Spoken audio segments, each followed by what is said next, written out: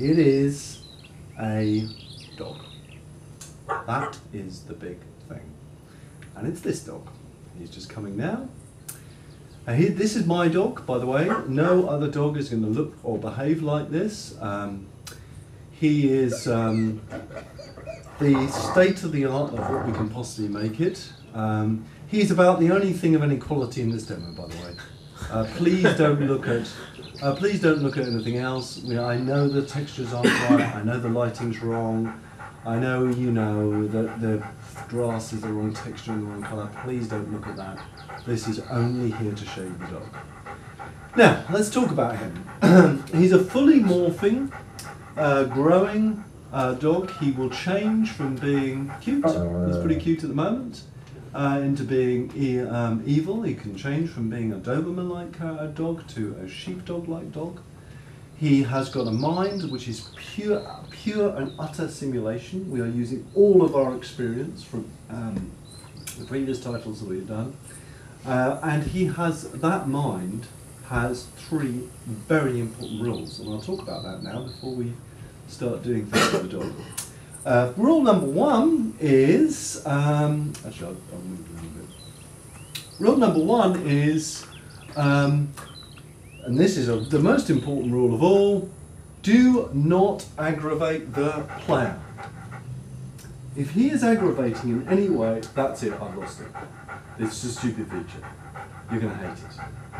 So he must never aggravate you. I'll point things out which he will avoid aggravating you.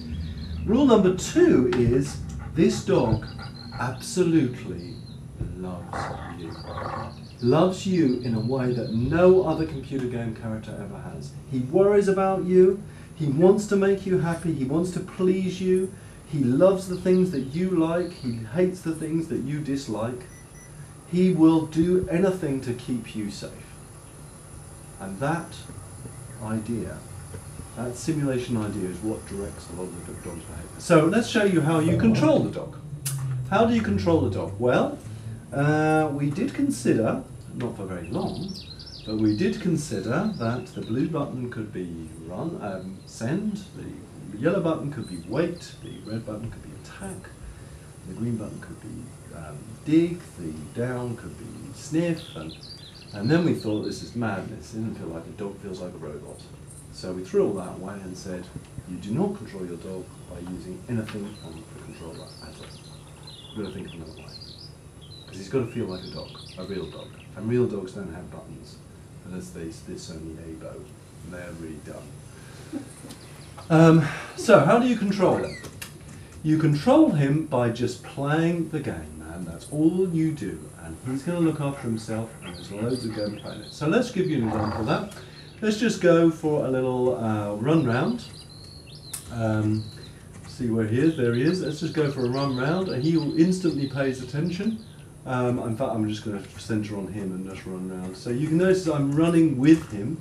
He always wants to stay just one step ahead of me. That's very, very important. I've got the camera on him, by the way, not on. That's very, very important. I'll speak about that later. So his locomotion, what he does, his behaviour is all dictated by what I do.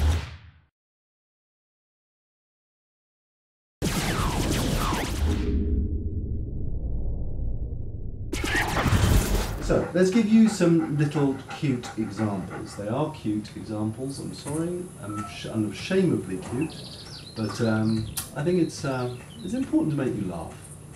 Um, now, what I did was earlier I went out and I uh, bought him a toy. It was um, a toy, and I then was mean and I buried the toy down here.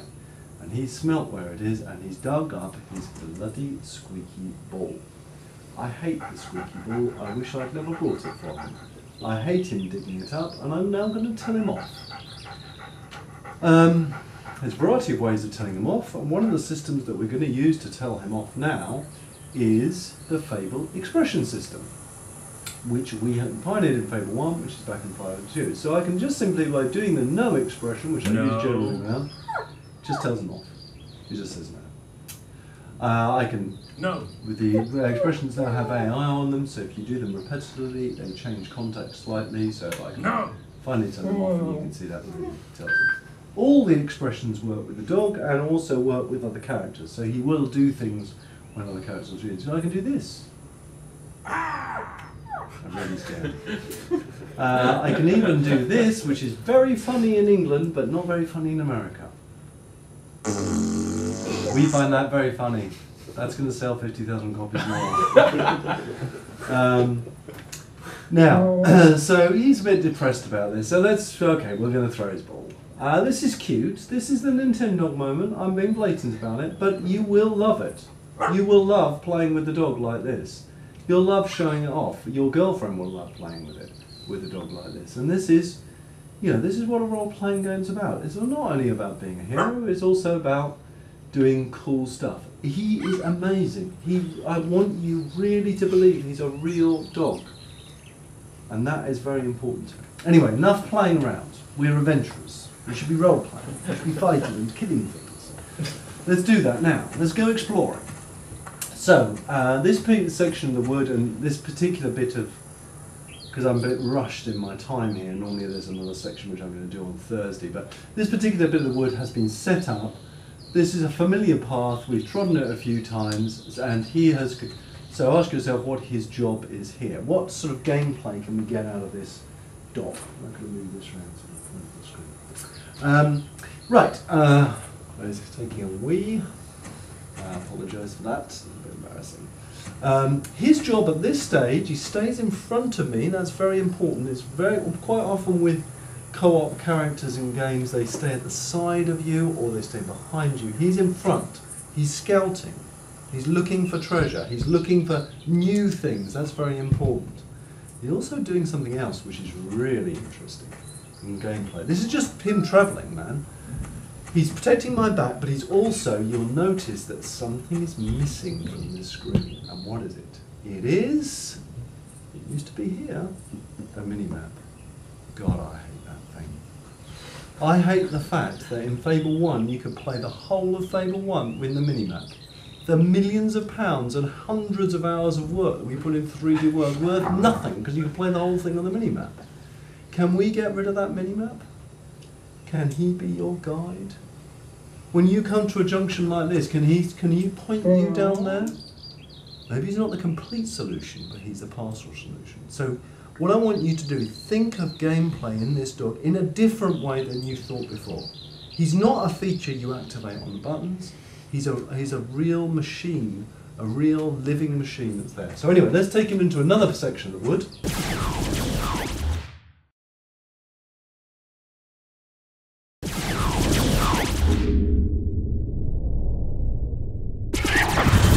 Run on ahead because he's unfamiliar with this section. He is first of all worried about me. That's firstly what he worries about. So he's gone on ahead and he's spotted something. He hasn't engaged it, that something, because that would be aggravating. And what he's spotted is these three Hobbes. There they are. And let's just um, pause again look at these Hobbes. There's, um, you can hardly see them, just on the horizon, but these two Hobbes have got maces and this one's got a gun.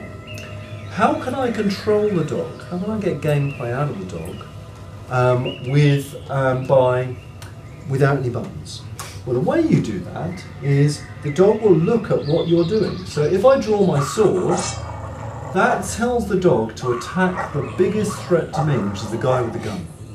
If I draw my gun, it tells him attack the two people that are going to come running after me now um, and I'll look after the, the uh, guy with the gun. So let's do that. So I will now shoot um, quick enough. Uh, and he, he, so he took out these these guys here, or this one guy here, and managed to slow my opponents down. Now he doesn't have laser beams in his eyes, but he is a fully functional gameplay mechanic. Unfortunately, uh, it's a cheap shot here, but it gives you an example. He did end up slightly hurt from that.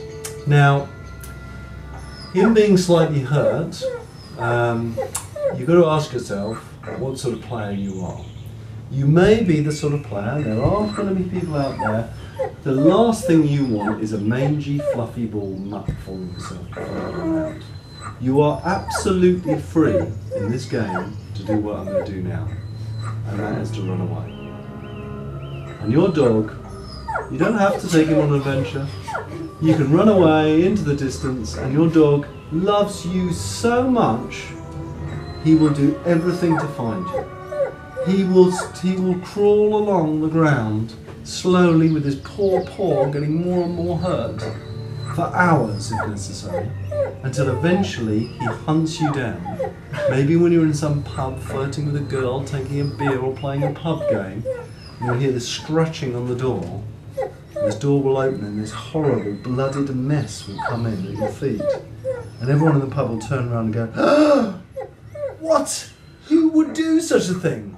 And that's going to be you. And I know that is going to pull at some people's heartstrings, and that's why he is such an important gameplay mechanic. Because what I think is that you end up caring for this. And if you end up caring for this dog, then um, just heal.